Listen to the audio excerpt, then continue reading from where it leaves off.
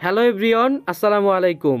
আমরা কিন্তু আমাদের মেসেঞ্জারের মেসেজকে সুরক্ষা রাখার জন্য বা মেসেঞ্জারের প্রাইভেসির জন্য বিভিন্ন থার্ড পার্টি অ্যাপ ইউজ করে থাকি। আজকের পর থেকে, এই ভিডিওটি দেখার পর থেকে আপনার কিন্তু কোনো রকমের থার্ড পার্টি অ্যাপ ইউজ করা লাগবে না। আপনি যদি আপনার মেসেঞ্জারের মেসেজকে বা মেসেঞ্জারের প্রাইভেসি সুরক্ষা রাখতে চান মেসেঞ্জারের অ্যাপটিকে লক করে রাখতে চান, তাহলে কিন্তু এই ভিডিওটি আপনার জন্য। সম্পূর্ণ ভিডিওটি দেখবেন, তাহলেই কিন্তু আপনি আপনার মেসেঞ্জারটিকে কোনো রকমের থার্ড পার্টি অ্যাপ ছাড়া লক করে রাখতে পারবেন। আপনি যদি টিকটক ইনস্টাগ্রাম, ফেসবুক পেজ অথবা ইউটিউব চ্যানেল থেকে আমাদের ভিডিওটি দেখে থাকেন, তাহলে এখনই আমাদের চ্যানেলটিকে সাবস্ক্রাইব করে দিবেন এবং এই ভিডিওটি আপনার ফেসবুক অ্যাকাউন্টের টাইমলাইনে শেয়ার করতে পারেন। চলুন শুরু করা যাক।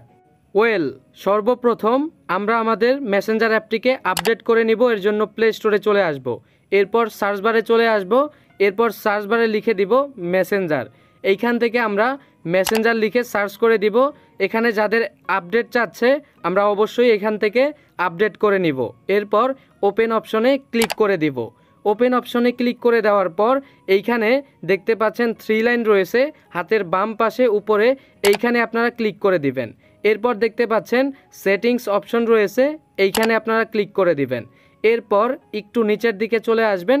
নিচের দিকে আসার পর দেখতে পাচ্ছেন প্রাইভেসি নামে একটি অপশন এইখানে আপনারা ক্লিক করে দিবেন। প্রাইভেসিতে ক্লিক করার পর দেখতে পাচ্ছেন অ্যাপ লক নামে একটি অপশন রয়েছে। আপনারা এইখান থেকে অ্যাপ লকে ক্লিক করে দিবেন। তো এইখান থেকে অ্যাপ লকে ক্লিক করার পর কিছু কন্ডিশন রয়েছে। ভিডিওটা স্কিপ করবেন না, সম্পূর্ণ ভিডিওটা দেখেন, তাহলেই কিন্তু আপনি ইউজ করতে পারবেন।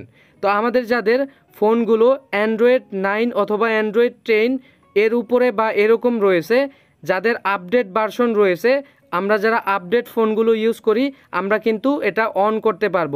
আরেকটি বিষয় রয়েছে, আপনার ফোনে কিন্তু ফিঙ্গারপ্রিন্ট অথবা ফেস লক থাকতে হবে। তা না হলে কিন্তু আপনি এই ফিচারটি চালু করতে পারবেন না বা ইউজ করতে পারবেন না। একটি বিষয় হলো, আমরা যদি এইখান থেকে এই অপশনটাকে চালু করতে চাই, তাহলে অবশ্যই আমাদের ফিঙ্গারপ্রিন্ট অথবা ফেস লক অ্যাড করা থাকতে হবে।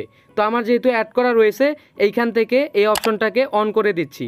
এরপর ফিঙ্গারপ্রিন্ট চাচ্ছে, এইখান থেকে ফিঙ্গারপ্রিন্টটা আমি দিয়ে দিচ্ছি। প্রাইভেসির জন্য এইখান থেকে স্ক্রিনটা দেখা যাচ্ছে না। তো ফিঙ্গারপ্রিন্ট দেওয়ার পরে এইখানে দেখতে পাচ্ছেন চারটি অপশন রয়েছে। প্রথম যেই অপশনটা, আপনি যদি এইখান থেকে এই অপশনটাকে সিলেক্ট করে দেন, তাহলে দেখেন এইখান থেকে মিনিমাইজ করে দিলাম, আমি আবার মেসেঞ্জার অ্যাপটিকে ওপেন করে দিলাম। তো আবারও কিন্তু ফিঙ্গারপ্রিন্ট চাচ্ছে, অর্থাৎ যতবার আপনি মিনিমাইজ করে বের হবেন বা মেসেঞ্জার থেকে বের হবেন, আপনার কিন্তু ফিঙ্গারপ্রিন্ট দিয়ে এখানে কিন্তু প্রবেশ করতে হবে।